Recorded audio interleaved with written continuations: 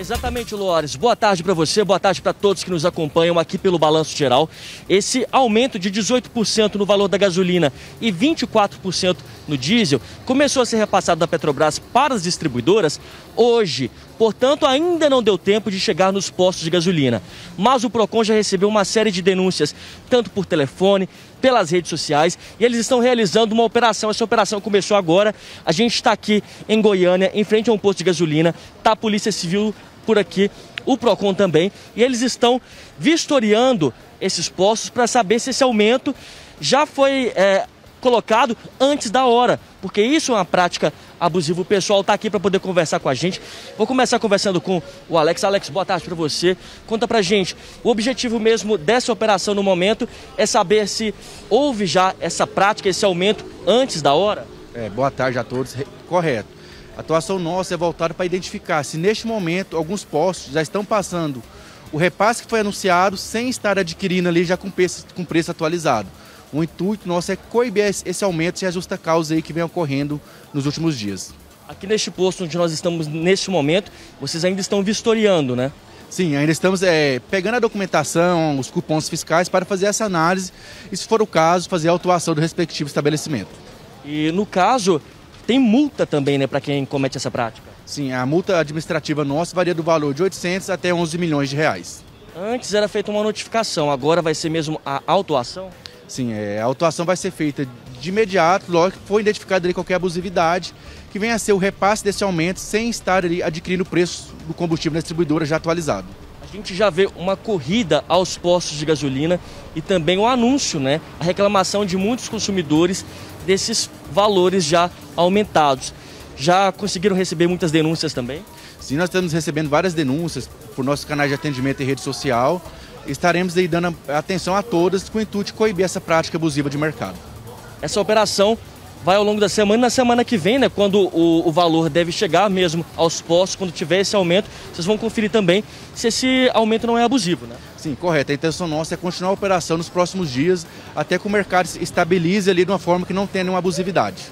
Lores, a gente vai conversar também aqui com o Dr. Webert, da Polícia Civil.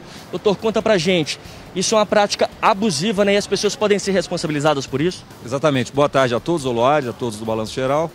A Polícia Civil, junto com o PROCON, é mais uma força-tarefa visando resguardar aí os direitos dos consumidores goianos, no sentido de verificar e comprovar essa abusividade é, e agir da forma mais rígida possível. Não descartamos a possibilidade de prisões flagranciais, caso evidenciado, como está sendo ah, tecnicamente o abuso no repasse de valor, ou seja, a falsa informação de repasse de valor ao consumidor final, quando na verdade isso não está acontecendo na prática. Então a nossa função é verificar isso é, analisar possíveis prisões flagranciais ou, no pior das hipóteses, indiciar esses responsáveis por esses aumentos abusivos no inquérito policial por crime contra a ordem econômica. Portanto, se houver esse flagrante, o responsável ele pode ser preso? Pode ser preso ou pode ser indiciado ao final do inquérito policial por crime contra a ordem econômica, cuja pena pode variar de 2 a 10 anos de detenção.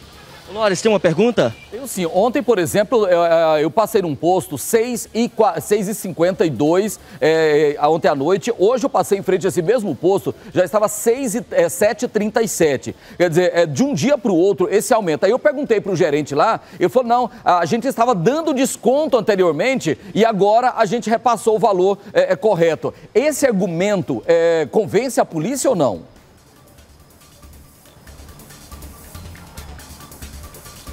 Lores, eu não entendi o finalzinho da sua pergunta. Você pode repetir, por gentileza? É, eu queria dizer o seguinte: ah, esse argumento dos postos de que antes eles estavam dando um desconto, não estava repassando toda a margem de lucro e agora estão repassando para justificar esse aumento. É, ah, como é que a polícia está recebendo e está lidando com essas informações de que esse aumento não seria por causa do, já antecipando o anúncio da Petrobras, mas repassando o valor, é, a, a margem correta? Pois é, o Loares está perguntando que ele mesmo já passou em frente a um posto de gasolina, já viu esse aumento, né? Como que a polícia está lidando com isso? É, a, o, os donos de postos de gasolina, eles têm algum argumento para poder aumentar esse, esse valor?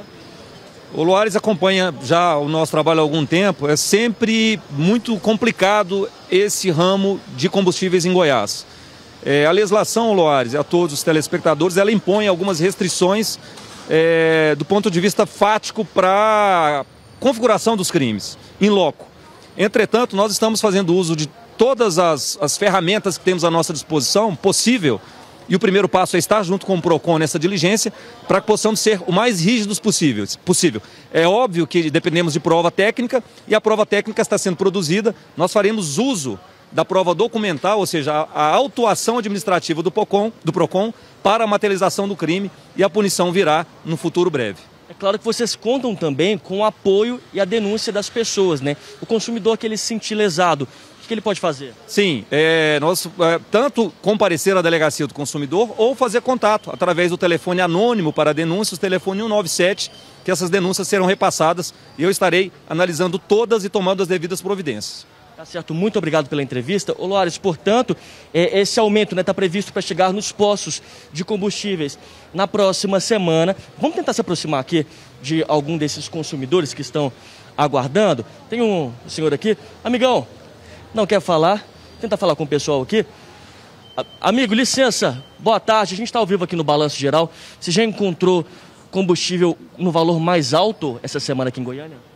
Ah, na maioria das vezes já, já percebe aí que nos postos já estão mais altos os preços, né?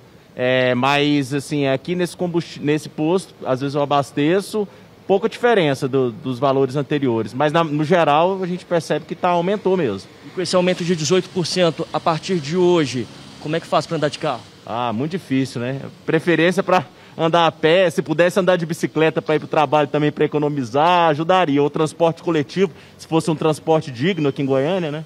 Tá certo. Muito obrigado pela entrevista. Portanto, também, ô Lores, o relato dos consumidores, viu, que estão reclamando desse aumento. E claro, todo mundo de olho para não ter o aumento abusivo, viu?